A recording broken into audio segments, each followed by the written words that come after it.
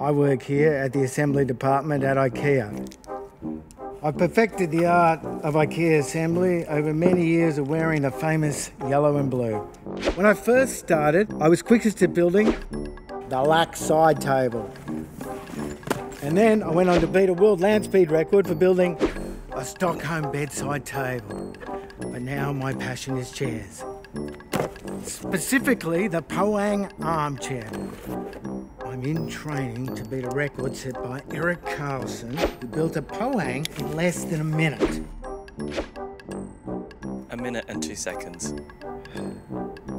IKEA Marsden Park will be the first ever store to be built by our customers. Be good to have a helping hand, because I'm not as quick as I used to be.